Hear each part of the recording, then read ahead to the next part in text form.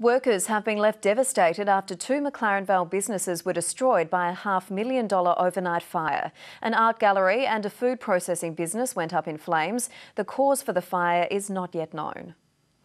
Firefighters braced themselves for a fight, but there was little they could do. We could fire, see the fire from about half a kilometre away, yeah.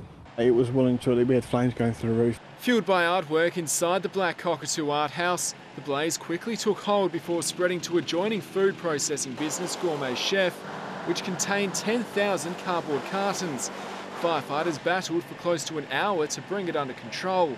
At first light, the extent of the damage was revealed, but fire investigators couldn't determine an exact cause. If the building has to come down, it would probably be close to a million dollars. The fire has left locals devastated. Well, I'm just sad for the um, hard-working people that set it up. A dozen people at the Gourmet Chef left without work. They've all been here between 7 and 15 odd years, so it's part of their life.